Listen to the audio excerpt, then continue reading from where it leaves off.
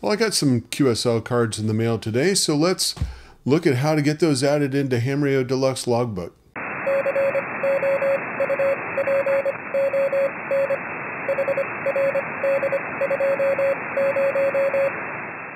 I'm Mike, Whiskey Alpha 9, Papa India Echo with Ham Radio Deluxe. If you find this video useful, give it a thumbs up. Don't forget to subscribe and click the notification bell.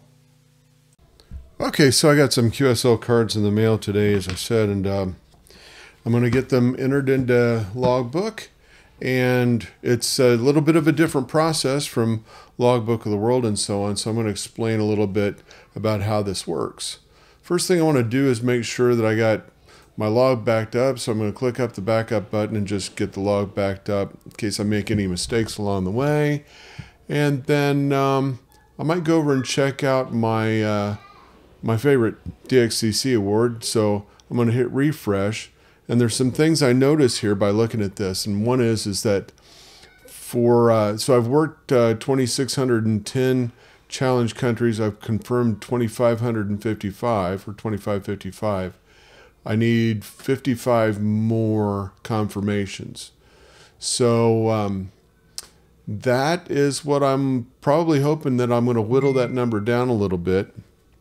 And so that's what we'll look at as we go along here. Um, so you might just refresh the the screen there or refresh the award, just hit the refresh button there so you can kind of track it as you go along. So I'm going to come back in here to logbook. Meanwhile, I'm uh, down here. I've got uh, HRD alert running, so you'll see uh, potentially see some decodes coming in from time to time. So let's look at uh, let's look at one that I got. My wife brought this in from the mailbox the other day. This was cool. Oh, first of all, uh, there's two buttons you want to click when you do this. You want to click on Filter and QSL. So once you have both of those displayed, you're ready to get these cards checked in. The wife brought this one in the other day, um, and it's interesting. I want to just hold it up and see if everybody can kind of see it. Um, this is from N4SFC. This is Steve Thibodeau in Cocoa, Florida.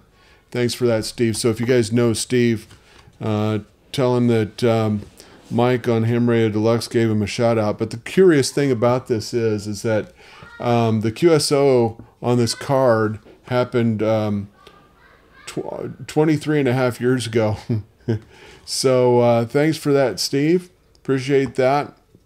I think I probably sent him a card back then, but uh, anyway, so basically I've got this card, it's N4 NFC, so I'm going to look for that call.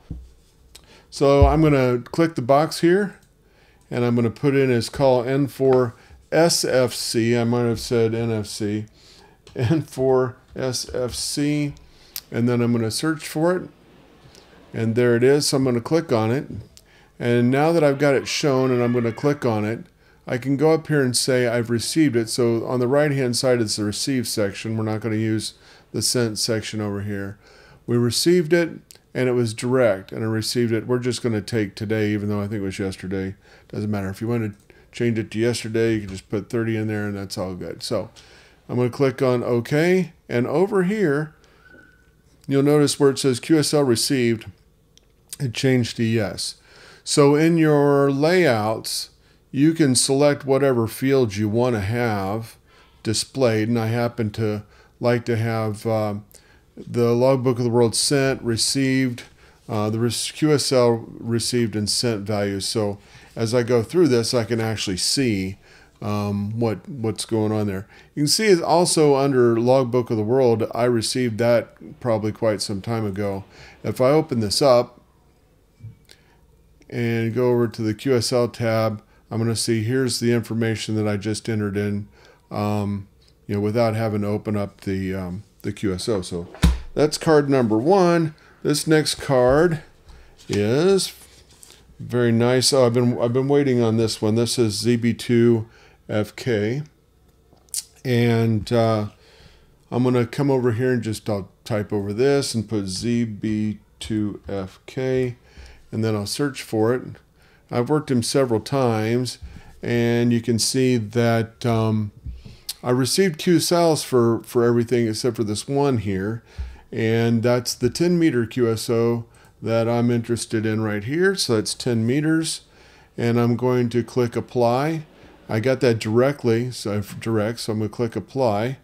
Got that in here. Now I come over here to award tracking and I'm, I've got the view here. I'm going to click on refresh and I'm looking at this 55 here that went to 54. So this is a new one that I'll have to put on my application for the card checkers uh, when I go and get that done next. So that's one, one for the good guys. Let's see here. Here's the next one. This is LU8 DPM. This is a 160 meter card. I'm going to uh, type that in here, LU8 DPM, and I'm going to search for that one. Here I can see that QSO, and um, notice there's no logbook of the world received on that one either, and the QSL received is no. So this is most likely going to drop that 54 to 53, which is what I'm hoping for. I got this one direct as well. I'm going to click apply. We see that goes to yes. If I come over here and refresh it again, down to 53. So another one for the good guys. So that'll go in the pile to the card checkers. I think I have one more card here. This is a cool card. Uh, this is A25R. So try to get up here. You can see uh, a group of the locals there, and then the team on the back. I love these cards because they're like uh, they're a little bit like going on vacation because you get you get um, you know full blown picture here. So on this, I'm going to hold it up. Hopefully you can see it, but um, there are eight QSOs on this card. Um, probably a DXpedition, but um, I'm pretty sure it is, as a matter of fact. A25R. And I'm going to search for that one, and you can see some stuff here. So it's showing me nine QSOs. So if I look over here, it's going to show me nine QSOs. There are eight here, um, which is why probably this one is a duplicate um, on 10, which is why, or either that, or I thought I worked them and I didn't actually work them at all. So, um, but you can also see that all these other ones are verified in Logbook of the World. So I'm really only just kind of uh, showing that I, I actually received the car card. I'm going to do a Windows trick here. I'm going to hold down the Control key and press A. That's going to select all of those. I'm going to hold down the Control key and click that one. So now I've only got the ones that are selected here, and I'm just going to look at the card and verify that that's um, these are the you know 40 meters, 17, 12, um, 17 FT8. The other one was CW. That's good. 80 meters, 17 on CW, 30 meters uh, FT8, and 10 meters FT8. Cool. So these are all done. This happened to be done through a manager, so I'm going to change that and click apply. And you can see the yes showed up in all these columns. So if I come back over here, I'm going to click refresh. I'm still at the 53. So that one doesn't need to go in the stack for the card checkers and I'm good. So I got two new QSLs for countries that I needed to confirm. To reset this back to where it goes, I'm going to click the reset button, which removes this uh, call from over here. Click apply, and I'm going to uncheck the filter, uncheck the QSL, and I'm going to back up my log again, and I'm good to go. So that's that's how you do it. Pretty easy and straightforward. And um, you know, it's a way to keep the. I do like the cards. The cards are cool because um, you get to see things. It's like like I said, it's like going on a trip. Um, meanwhile, we also have.